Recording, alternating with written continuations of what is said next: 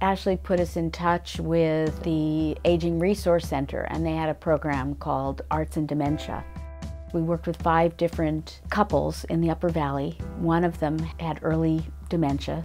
Each one of the couples had some connection with the arts, but they'd lost that or some part of it because of the Alzheimer's.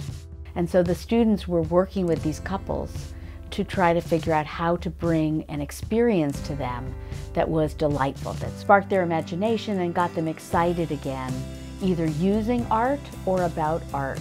It was really an extraordinary experience for the students and for us as the professors. So a social impact practicum is a project-based opportunity for experiential learning that's integrated into courses at Dartmouth. I think a traditional service learning model tends to be a heart and hands model building on the heart, so it speaks to someone's heart and their sense of passion and good, and it engages their hands, it engages their body. It takes them and physically puts them in a place where they can do something that has value for that organization. What makes the social impact practicums really different and interesting is that it is more of a head and a heart model. It's building on the innovation and entrepreneurial spirit and insight and creativity that Dartmouth students are really known for. And it also speaks to their heart and their desire to make an impact and be a leader in this world and on this campus and in the community.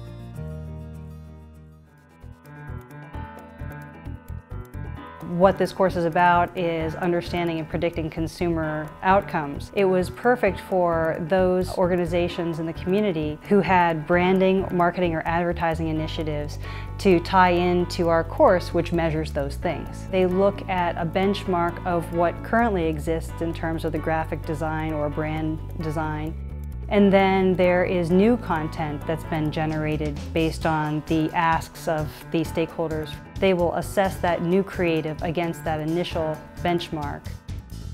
They look at eye tracking behavior. So where in the scene, where in this graphic art did they tend to process? Where was their attention most heavily focused?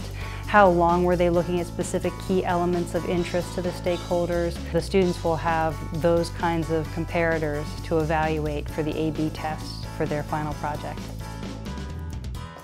It allowed them to not just read what these stakeholders desired of their social impact practicum, but it also allowed them to meet the stakeholders and have a conversation one-on-one -on -one and hear some of their pain points about what is working, what's not working, and really how they want to make it better.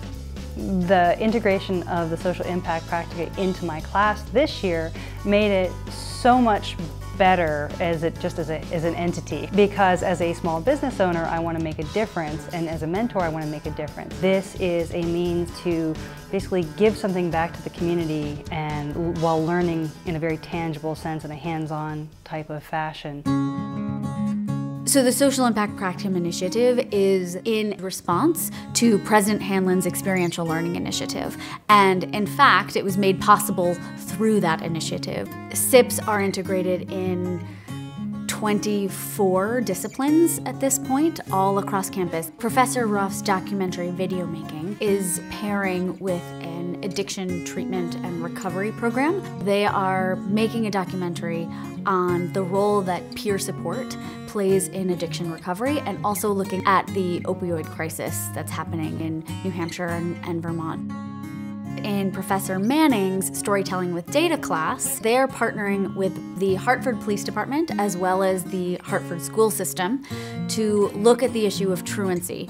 Hartford has provided data that students are combing through and they are trying to figure out what are the trends, what does that data say, what's the story that that data says to provide an initial level of recommendations and thoughts on where the town of Hartford might go with that information. It creates the groundwork for students to grapple with how do you take what you're learning and apply it, and then also vice versa, how do you take what you are learning when you have applied it back into the classroom and use that multi-directional reflection as an opportunity to get deeper into the material and to have that material really take hold and last far beyond when the course ends. If you have something that is really powerful and that students adore and that weaves really well into the existing course, and that has a community impact, it's a win-win for all of those stakeholders involved.